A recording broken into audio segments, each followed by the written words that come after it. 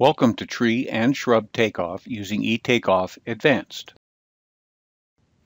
We'll use two different tools, one for shrubs and one for tree takeoffs. Let's take a look at the tree takeoff tool. Start the measurement by double-clicking tree count. Enter the genus and species or the common name as you prefer.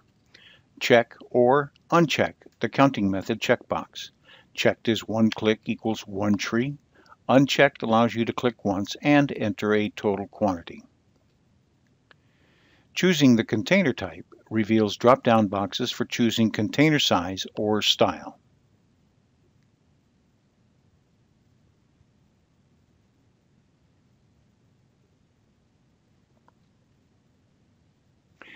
Lastly, enter a location for the measurement if you choose. We'll start a tree takeoff of tree symbol PAT that is showing a count of 3 in this location on the plan. Locate the genus and species for this particular tree in the plant schedule. Double left-click tree count and enter the tree identification.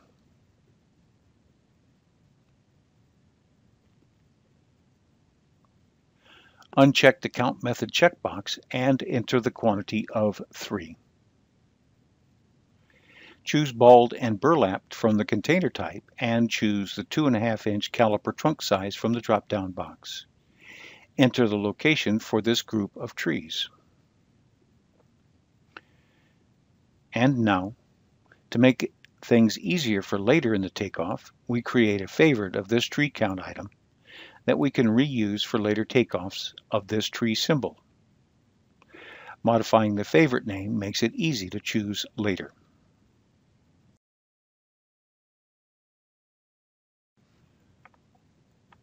Next, we'll do a takeoff of a shrub type. The procedures are almost identical to the tree takeoff, but with fewer container type choices.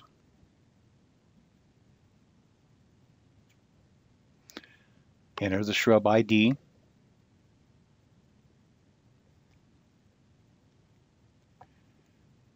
change the count method to one click and enter a quantity.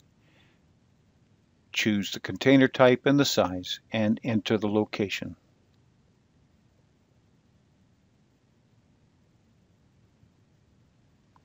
And again, we make a project favorite to reuse later.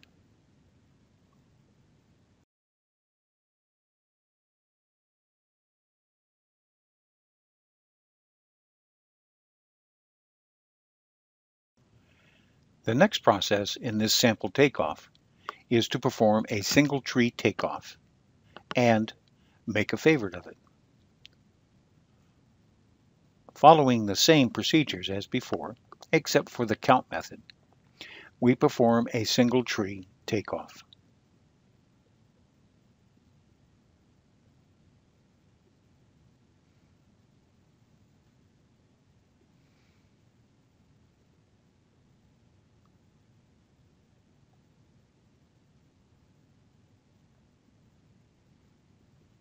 And we make a favorite of it.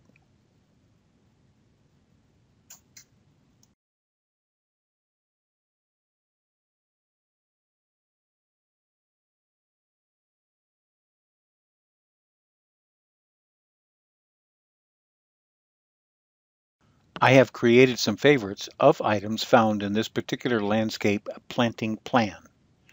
We'll use one of them to perform an additional takeoff. You'll notice by double-clicking the favorite, it populates a copy of the favorite, and all I have to do is change the quantity and the location.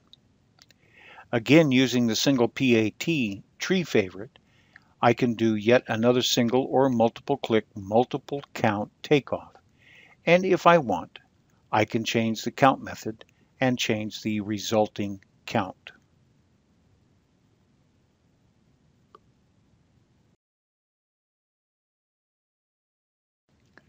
Using the existing shrub favorite, we perform two more takeoffs, changing only the count. And because the location is on the same side of the project, we do not change that. It does not get any easier than this.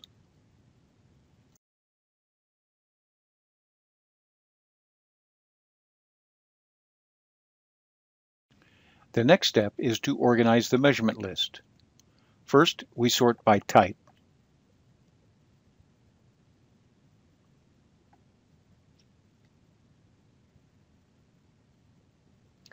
And then we subsort by genus species.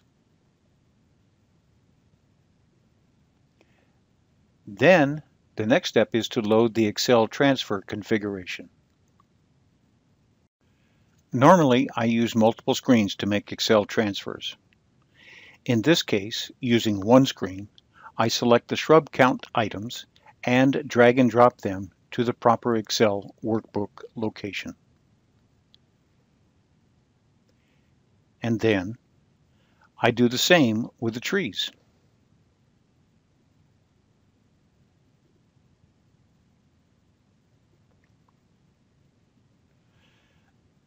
Does this look like a set of tools that would be of use to you? Contact me to get a set for yourself.